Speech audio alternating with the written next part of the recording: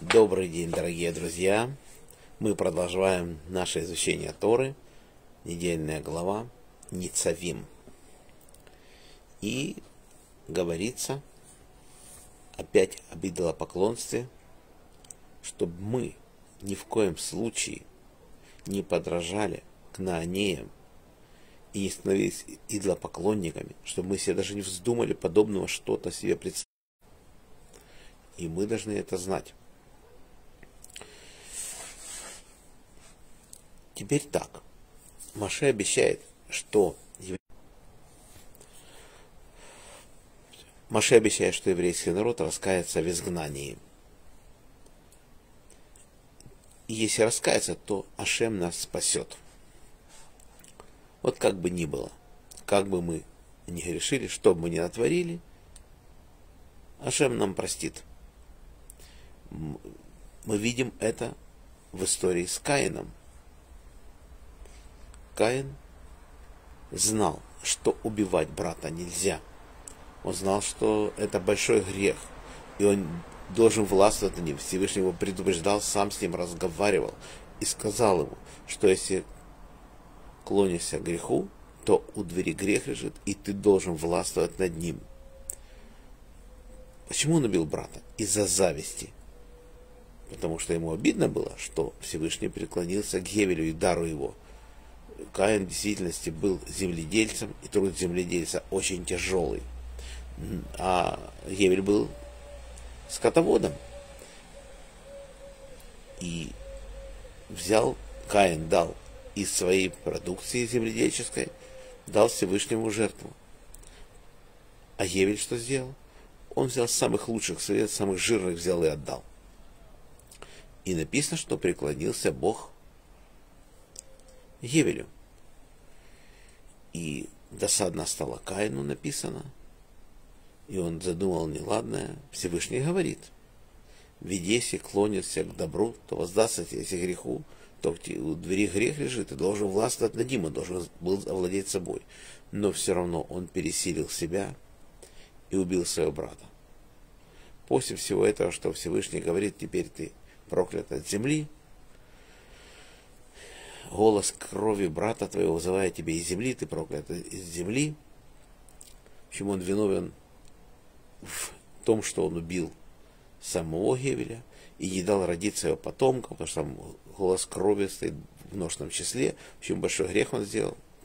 Но тем не менее, Всевышний взял и половину наказания ему отменил, потому что написано, что он поселился в земле Нот – и мы да, знаем, что это поколение у него произошли, и кончилось тем, что что мы произошли от него. То есть у него было в поколении, где-то в восьмом поколении была женщина, она была сестрой Туваль Каина, Наама ее звали, и Наах наш праведный женится на ней и рождается у них дети Шем, Хам и Ефет, они были в ковчеге, когда был потоп, и вот мы родились от них. Других людей на земле нет. Только потомки этих людей. Вот она из потомков Каина. Всевышний прощает. Теперь мы смотрим зверский поступок царя Ахава. И Всевышний говорит Маше, что я принял раскаяние для поклонника Ахава. Разве я не приму ваши? Ахав правил царством десяти колен, настолько погряз в идолопоклонстве, что стирал имя Всевышнего в Торе и писал Баал. Написано, что он, где написано было Ашем, он пишет, Баал сделал, создал небо, землю, и он до такой степени дошел, что он на всех высоких горах, на любых возвышенностях в, стране, он сделал идолов. Он в храме поставил тоже идолов. То есть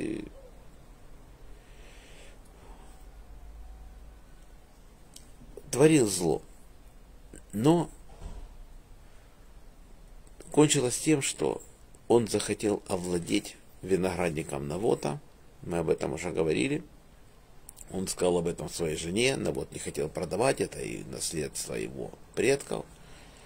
И она, эта женщина из Вель, взяла, наняла же свидетеля, который говорит, что этот Навод говорил плохо о Боге, о царе.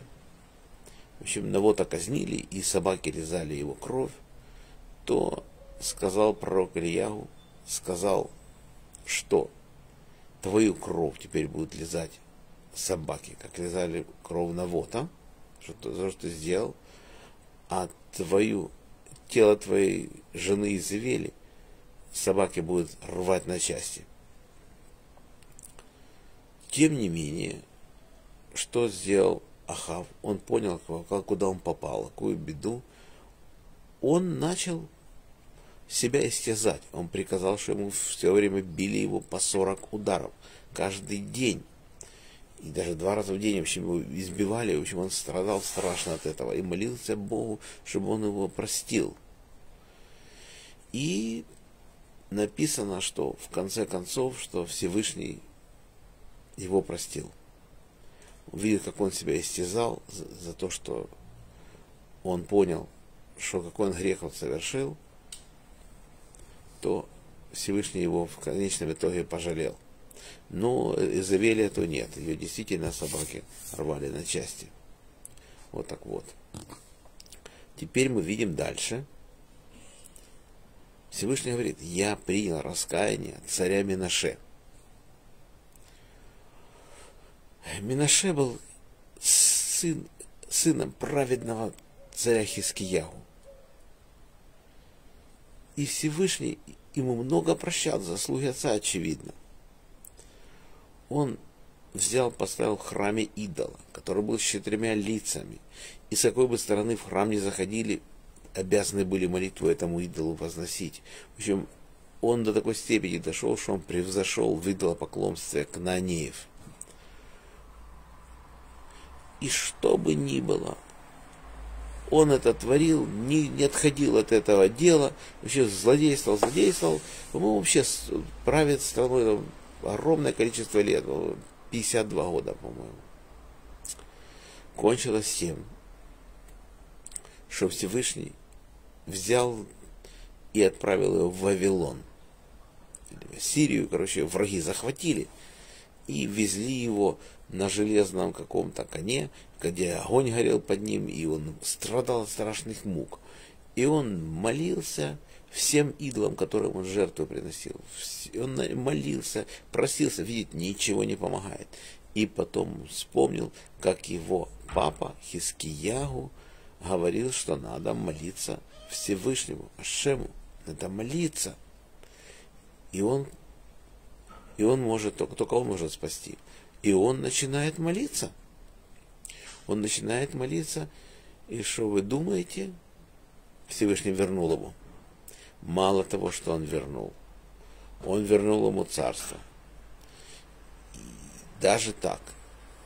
В общем, даже, казалось бы, такой нечестивец, как Минаше, злодейский царь, и тот был прощен. Царь обратился к Всевышнему, теперь я вижу, что все боги фальшивы, ибо ни один не смог мне помочь. Ты, господин Вселенной, но если ты не ответишь мне, я объявляю, что все боги одинаковы. Всемогущий на небесах сказал, этот злодей не заслуживает того, что я, чтобы я принял его в молитвы. Однако я отвечу ему отказом. Если отвечу ему отказом, это может в будущем удержать от раскаяния других людей. Только поэтому Всевышний принимает его молитву потому что молитва не была у него действительно такой искренней, как это положено. И ангелы все равно, когда Всевышний просил, не давали ему молитвенно подняться небесам, но Всевышний позволил, дал ему какое-то маленькое место, чтобы все-таки какое-то отверстие сделал в троне, чтобы его молитвы доходили. В общем, он принял, принял его молитву и свое великое милосердие, хотя на самом деле Менаше был этого недостоин. Ашем чудесным образом восстановил правление Минаше, как сказано в второй книге Деврея Мим, 33.13, это книга Писания. Он вернул Иерусалим в его царство. Позднее Минаше признал вселенной управляет справедливый правитель, он уничтожил идол и разбил изваяние в храме. Он восстановил жертвник Ашема, принес на нем мирные и благодарственные жертвы и приказал народу служить Ашему. В общем, Машеном говорит, если вы окажетесь в знании, то, что сейчас происходит, и вы искренне раскаетесь, то Всевышний вернет вас, даст вам опять страну,